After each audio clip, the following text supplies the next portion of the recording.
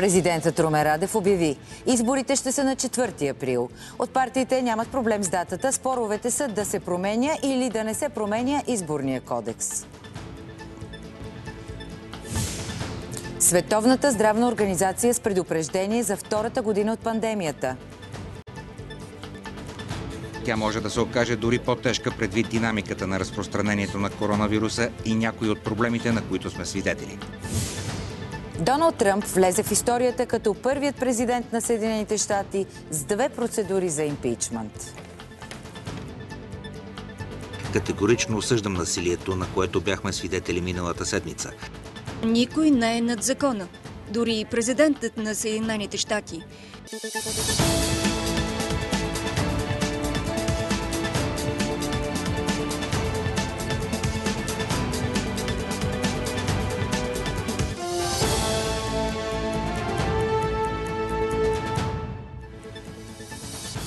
Това са късните новини. Добър вечер.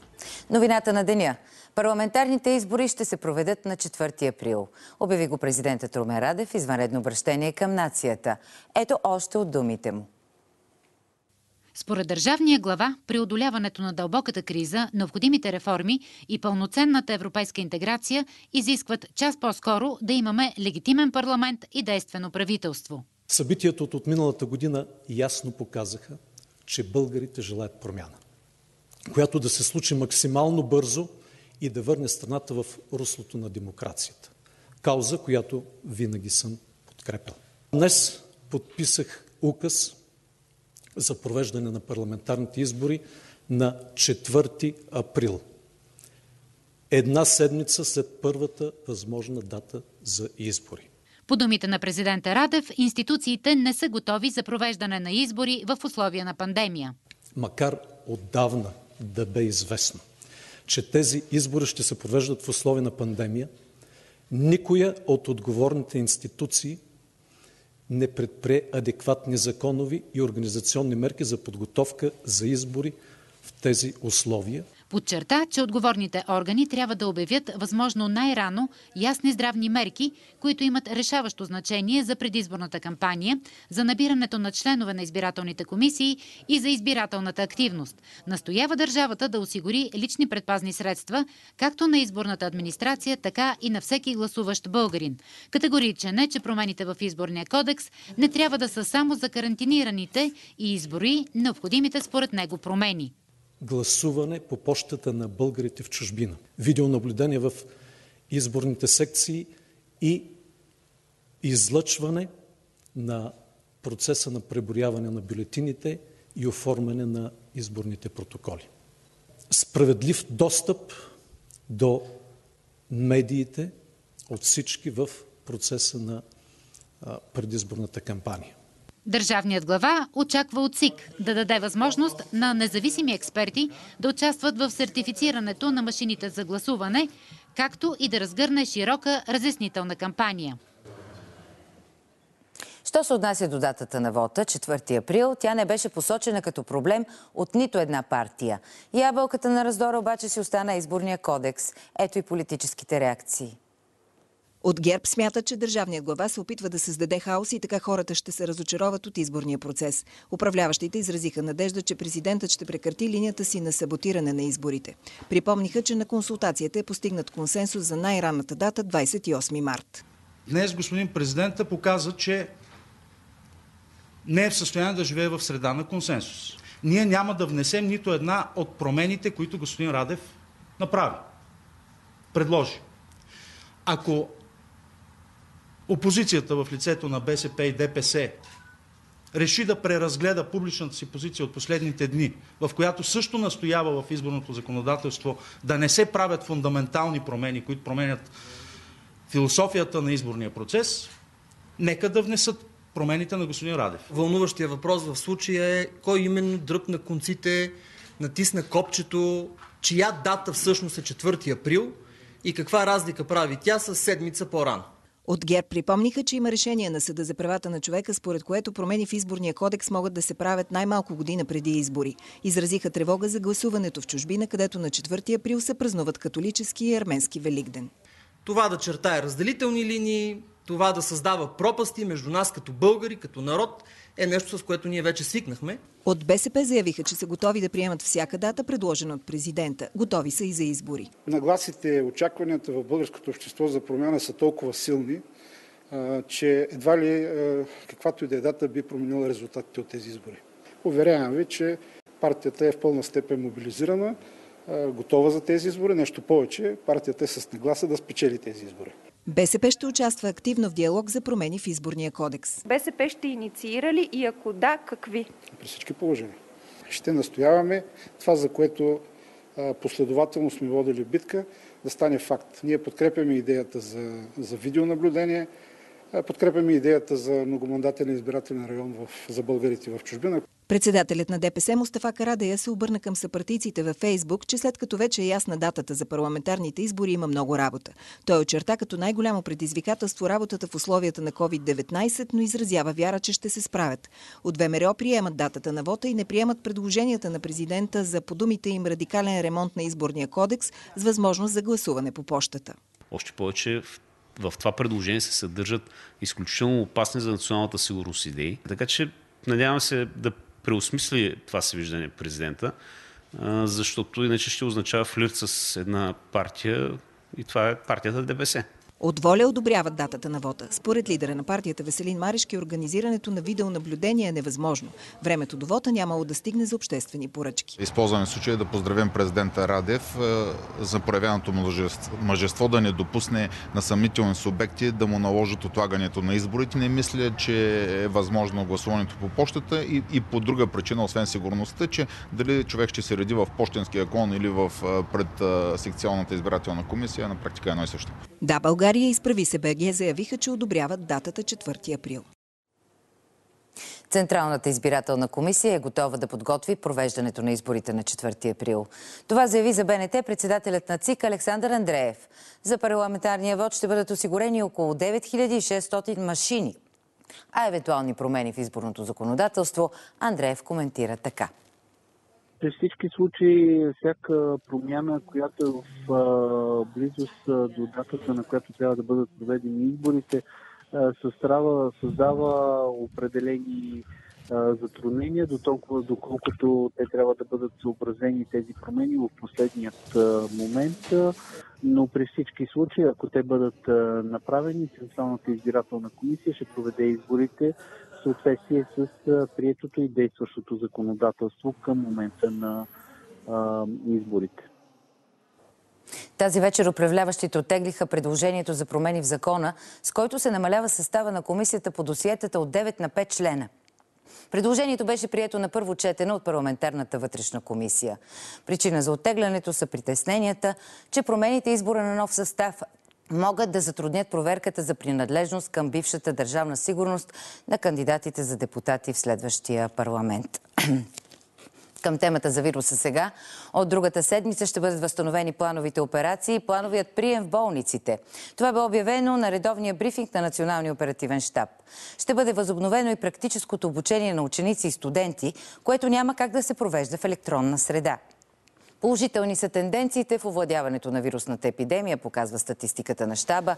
Три пъти повече са излекуваните в сравнение с откритите нови случаи през последната седмица. Но все пак ние трябва да наблюдаваме и негативните тенденции, а те са най-вече в Великобритания и в Чехия. На какво се дължат те? Най-вероятно на нов, така наречения нов щам.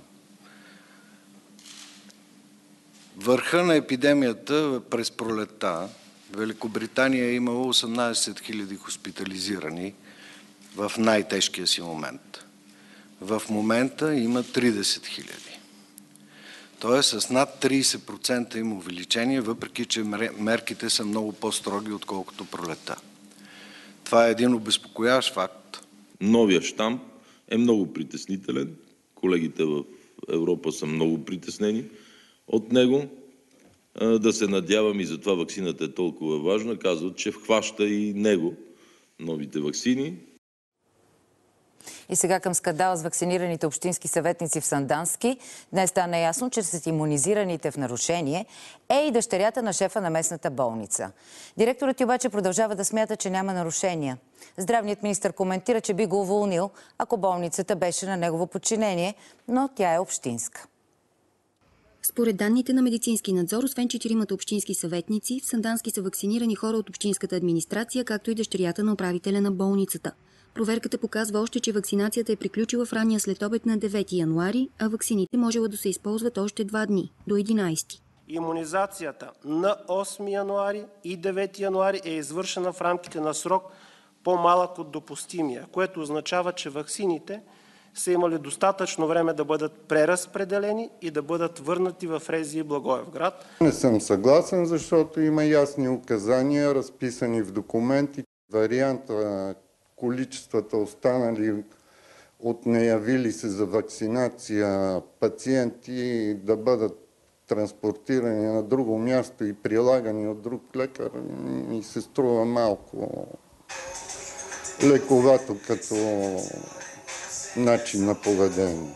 Кметовете и общинските съвети на Петрич, Сандански, Кресна и Струмяни, които са принципал на Югозападната болница, ще решат дали да освободят доктор Тонев от директорския пост. Вече са изпратили писмо до здравния министр, за да изискат пълна информация и протокол от направената проверка. След протокола и след неговото разглеждане, Община Сандански ще даде своето становище. В момента, в който получим официално становище, се събираме следващия ден. За сега доктор Тонев не обмисля да подава оставка. Най-вероятно и местните власти няма да се съгласят да бъде освободен, защото до сега се е справил добре с работата си и има достатъчно административен опит. Колегите на доктор Тонев в болницата в Сандански също застават зад него. Имунизацията с първите вакцини на Модерна вече са в ход. Първите 100 дози отидоха при 100 медици от Майчин дом. Доктор София Йорданова беше първият лекар у нас, на когото поставиха препарата на Модерна. Тя е старшия кошер и завеждащ COVID отделението в Майчин дом. Първата доза от ваксината на Модерна е поставена на акушерката, която отговаря за COVID отделението в майчин дом. Отговаря и за целия процес по вакцинация, но въпреки това не е имала претенции коя вакцина да избере за себе си. Не съм разделяла ваксините.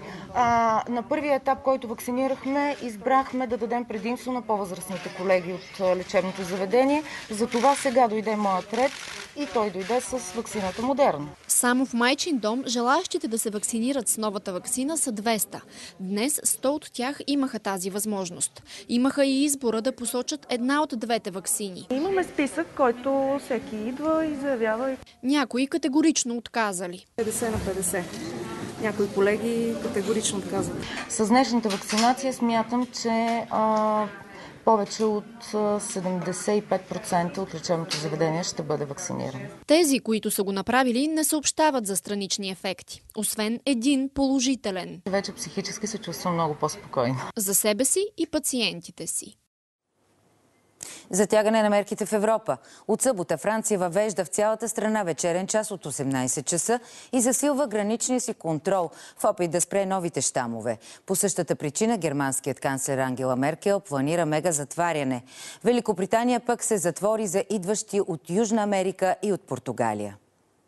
До сега вечерен час от 18 вместо от 20 часа имаше само в 25 от общо 101 департамента на Франция.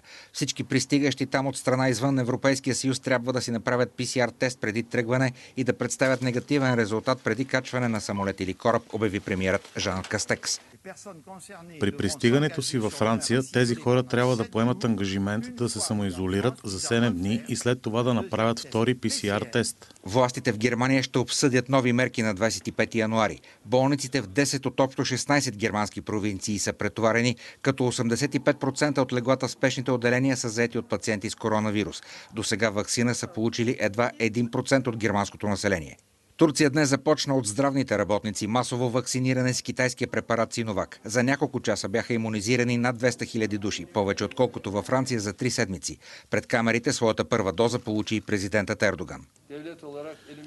Правителството прави всичко по силите си. След първите 3 милиона дози, надяваме се да пристигнат още 25-30 милиона.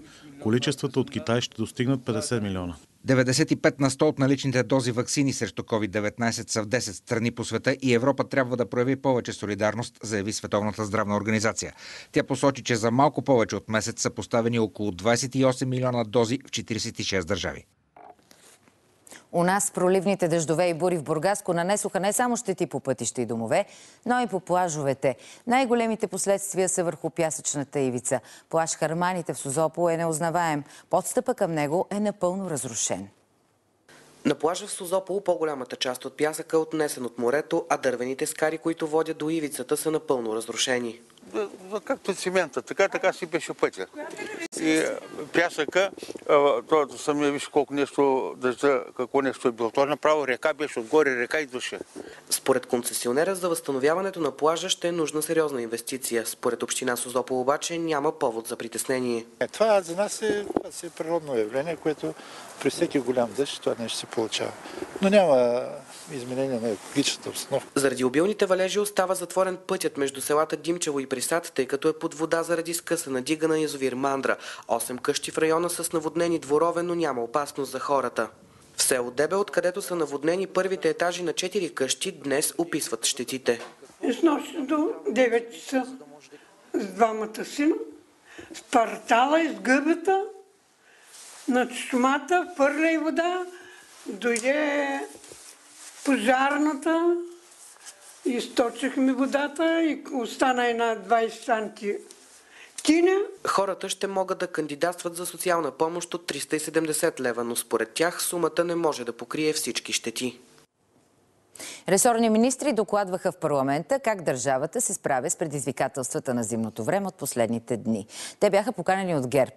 Увериха, че обстановката в страната се нормализира. Все още остава частично бедствено положение в няколко общини в Юго-Источна и в Северо-Западна България. Институциите са се справили с кризата, убеден е вътрешният министр. Обстановката на територията на страната се нормализира. Системата работи и затова можем спокойно днес с високо вдигната глава да кажем, че нямаме пострадали хора, нямаме загинали хора. Всички щети, които са нанесени, независимо дали са на частни жилища или държавно или общинско имущество, на посеви, ще бъдат обезпечени със съответните средства. Чрез контролирано изпускане на езовири е било предотвратено скъсване на стените им, обясни министърът на околната среда. Видяхме добрата роля на язовирите. Действат като буфери. Видяхме климатичните промени как действат. За 4 часа се излива норма, която иначе за 4 месеца не се е излява. Само се представете, ако сте вкъщи в банята и се къпете, пуснете един бойлер, сифона го поема, пуснете 160 бойлера, ще видите, че няма да може да го поеме. Въпреки критичната ситуация заради валежите, предпазните съоръжения на водоемите издържали с изключение на въздушен откос на язовир Земен, който подал. Министърът на економиката посочи, че от 6844 язовира за ремонт са одобрени 159 на стоеност 386 милиона. При обявеното бедствено положение в различните общини на държавата, при нито един от вече ремонтираните и сега ремонтиращи се язовири не е имало проблем. Новоизградените преливници осигуриха необходимата проводимост за контролирано изпускане на прииждащата вода. За това допринесе изградената контролно-измервателна система на всеки един язовир. Заради наводненията за кратко са прекратени газовите доставки към Гърция. Наложило се и частично изпускане на язовирите към вецовете. Количеството на водните запаси в тези съоръжения не зависи нито от така, управляващите, нито от опозицията, зависи от природата. Електроенергийната система на страната е стабилна и българските граждани трябва да бъдат спокойни. От левицата не останаха доволни от отговорите. За вас ту е глобалното затопляне, ту е многото дъжд, ту е дядо Боже, ма кой ли не е виновен за вашата абсолютна некомпетентност? Куците, които вчера по новините всички видяха и които заляха своя искърското дефиле, са много добра метафора за политическото състояние, в което се намираме. От ДПС атакуваха екоминистерството. Когато има прогнози за по-високи приливни вълни, редно е да има разпореждане, така че да се освободят обеми от съответните язовири, които да посрещнат приливната вълна, така че да се минимизират последиците. Управляващите обвиниха опозицията в популизъм. Природното бедствие не се съобразява с политическата конюнктура, с управлението. Така че всякакви опити да се хвърля упрек за действия, които са за преодоляване на препятствията, е една глупава, елементарна, повърхностна политическа агитация и акция. Върховната административна прокуратура разпореди на министрите на околната среда, на вътрешните работи и на енергетиката да извършат незабавни проверки на причините, довели до приливане на реки. Заради откритите отложени наноси и строителни материали ще се установява има ли незаконен добив на инертни материали. От Агенция Пътна инфраструктура и МВР предупредиха, че се очаква рязко застудяване и възможност за образуване на поледици по пътищата в планинската част на страната и особено проходите. Очаква се и снеговалежи, както в североизточната част на страната и те могат да доведат до снегонавявания. В момента 200 машини обработват превентивно против заледяване. Обстановката се осложнява на места вали в момента дъжд и ще го обърне на сняг. Екипите на пътна, на охранителна полиция, на патрулно-постова дейност, на колегите от пожарната служба, противопожарната служба, всички екипи са готовно, в готовност за реакция. Там, където се установи а, път, който е с а, така а, условия за настъпване на пътно-транспортни происшествия, колегите ще работят на включени светлини сигнали. Новина буквално от последните минути по повод медийните публикации за изгорено българско знаме в село Вевчани в Република Северна Македония, вице-премьерът Екатерина Захариева разпореди на българския посланник в в Скопие Ангел Ангелов да изрази пред правителството на Република Северна Македония силното ни възмущение от този вандалски акт. Посланник Ангелов вече направи остър устен демарш в Външното министерство на Северна Македония. Инцидентът е станал по време на ежегодния Вевчански карнавал. Вевчани се намира в югозападната част на страната. Вчера силите на реда се опитаха да предотвратят провеждането на карнавала поради пандемията от коронавирус. Според кмета Сашо Янковски, всички имали вина за напрежението, но най-много полицията, която е изпратила прекалено много служители на реда. Тази година нямаше официално организиране на карнавала. Доналд Тръмп стана първият президент в историята на Съединените щати, срещу когото са заведени две процедури за импичмент. Първата беше преди година и неуспешна. Сега той е обвинен в подстрекателство към метеж заради штурма на Капитолия, знаете. Процедурата обаче едва ли би могла да започне преди 20 януари, когато Тръмп вече ще е напуснал поста си. Седмица след штурма срещу Капитолия, днес в строго охраняваната зона отвън и вътре в сградата се проведе гласуване, което може да сложи край на политическата кариера на Доналд Тръмп. По безспорен начин показахме, че никой не е над закона, дори и президентът на Съединените щати. Доказахме, че Доналд Тръмп представлява реална опасност за нашата страна. Камерата на представителите обвини отиващия си президент в подстрекателство към метеж, като към вота на демократите се присъединиха и 10 републиканци. В видео, разпространено от Белия дом, Доналд Тръмп призова своите привърженици да избягват насилието и да бъдат обединени. Той подчерта, че предаването на властта на 20 януари трябва да премине мирно, но не спомена процедурата по импичмент. Нахлуването в Капитолия беше удар срещу сърцето на нашата държава. Разгневи и ужаси милиони американци от целия политически спектър. Категорично осъждам насилието, на което бяхме свидетели миналата седмица. Насилието и вандализмът нямат никакво място в тази държава.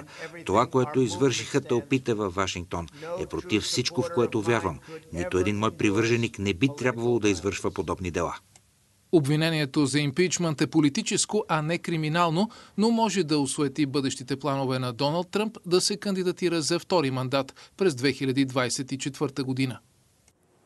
Връщаме се у нас. Йосиф Йосифов, известен като Йоско Костинбродския, беше предаден от гръцките на българските съдебни власти. Предаването е станало тази сутрин на контролно-пропускателен пункт Кулата. Европейска заповед за арест на Йосифов беше издадена през юни миналата година. У нас той трябва да изтърпи наказание от 4 години затвор за изнудване и за кражба. В Гърция Йосифов изтърпя присъда за незаконно притежаване на оръжие. Една рисунка от комиксите за Тен-Тен, останала в чекмедже дълги години, днес беше продадена на търг в Париж за близо 3 милиона и 200 хиляди евро. Творбата е дело на белгийския иллюстратор Жорж Реми, починал през 83-та. По-известен псевдонима Ерже. Той е автор на поредицата комикси Приключенията на Тен-Тен. Продадената рисунка е отхвърлена като корица на издание преди Втората световна война. Тогава художникът я подарил на наследника на издателската къща, публикувала книгите от поредицата, а той я запазил до смъртта си. Днешният купувач е анонимен, частен колекционер.